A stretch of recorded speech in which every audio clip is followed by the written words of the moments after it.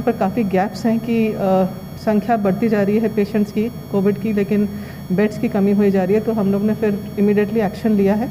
And यहाँ पर 100 beds हम लोग ने अरेंज किया है। मैं बाड़मेर की जनता की ओर से कैन वेदांता कंपनी को धन्यवाद देना चाहूँगा कि वो पहले भी कोविड के अंदर उन्होंने अच्छा कार्य किया और अब बहुत ही अच्छा कार्य कर कर रही है।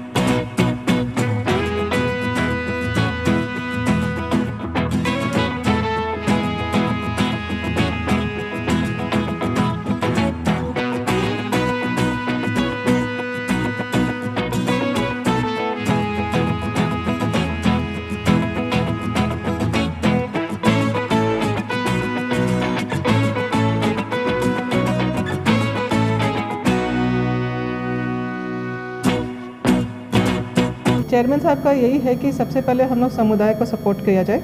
एंड इसीलिए हम लोग ने यहाँ पर काफ़ी डिस्कशंस की है कलेक्टर सर के साथ और अ, मेवाराम जी एमएलए साहब में भी काफ़ी इन्वॉल्व डेली मीटिंग्स होती हैं पीएमओ साहब भी हैं।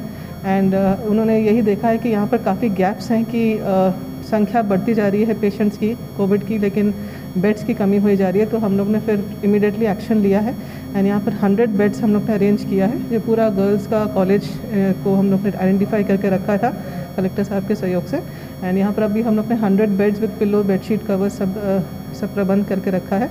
और इसके अलावा ए भी लगवा दिया ताकि पेशेंट्स को कोई असुविधा ना हो। पानी का तो प्रबंध है ही नगर निगम भी पूरा सपोर्ट कर रहा है। इसके अलावा मेडिसिन और इक्विपमेंट्स भी आ रहे हैं। एंड इसके, और इसके अलावा और कोई सपोर्ट होगा तो एज एन वन हम लोग ज़रूर कोशिश करेंगे कि इसको हम लोग फुलफ़िल करें। हाँ ये एक्चुअली क्वारंटाइन सेंटर है क्योंकि पेशेंट्स की बढ़ती संख्या को देखते हुए हम लोग ने ये फैसला किया कि जो यहाँ पर थोड़ा सा सह स्वस्थ हो जाए। लेकिन उनको थोड़ी घबराहट होती है कि हम घर चले जाएँगे, अगर कुछ हो गया तो फिर हमें वापस आना पड़ेगा।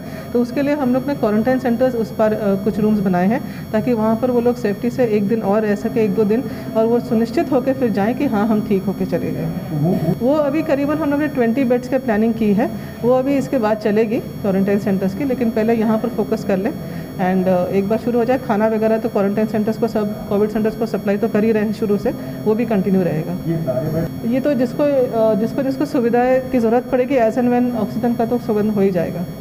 ये तो पूरा डिस्ट्रिक्ट अथॉरिटीज़ के सपोर्ट से ही होगा।